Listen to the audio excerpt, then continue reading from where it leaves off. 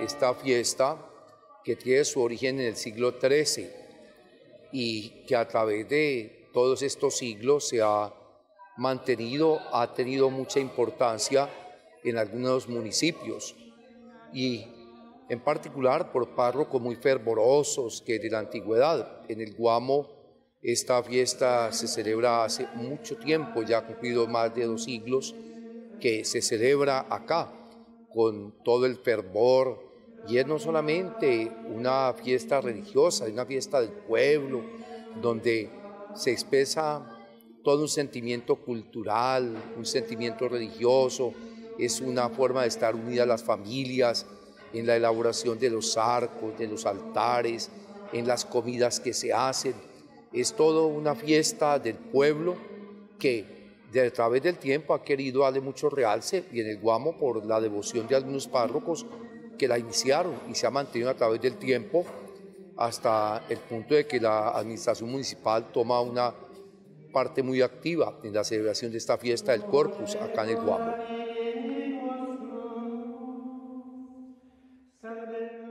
Cuando era una sola parroquia, que fue durante mucho tiempo, una sola parroquia, pues hacía el recorrido acá, para no dejar como por de menos la parroquia de El Carmen del Guamo, del Carmen, Nuestra Señora del Carmen, la procesión se inicia ya en esa parroquia y viene hacia la parroquia central, que es la parroquia madre, y entonces durante ese recorrido se busca que el Santísimo, mire que se construyen unos altares y esos altares están construidos con elementos de, propios del municipio. Usted mire que se utiliza palma, que se utilizan productos, todos de la región, porque cuando en cada altar se imparte la bendición con el Santísimo Sacramento, se bendicen los campos, esos frutos representados ahí en, cada altar, la gente implora la bendición del Señor sobre los frutos que presentan. Miren que colocan incluso animales, ahí se colocan animales, se colocan frutos, se coloca todo lo que la tierra produce y se le pide a Dios la bendición. Por eso en cada altar se da una bendición especial por las familias que lo realizaron, implorando la bendición de Dios sobre los cultivos y los campos.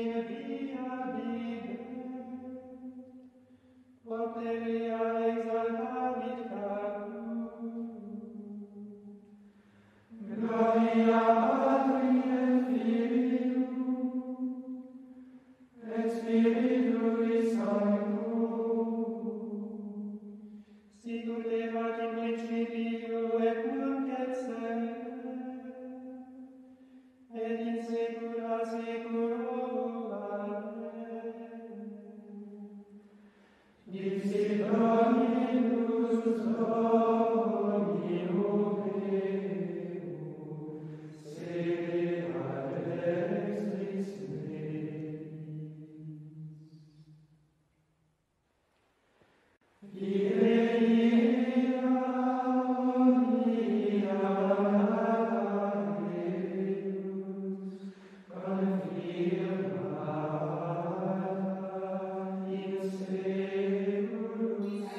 La fiesta del Corpus en la iglesia reviste una particular importancia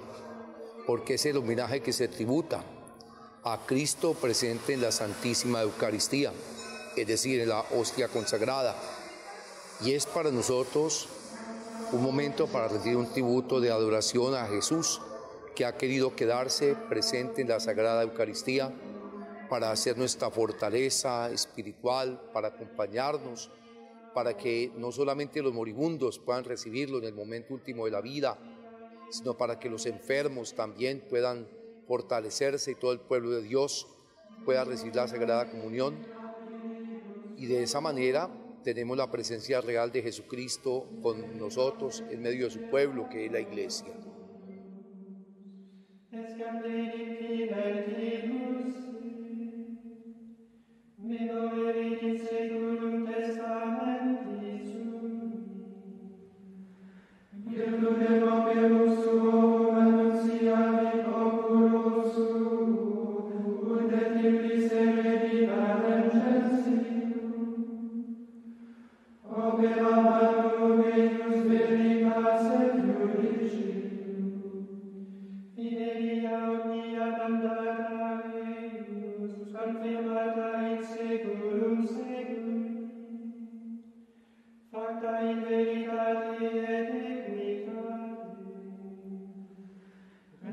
Señor.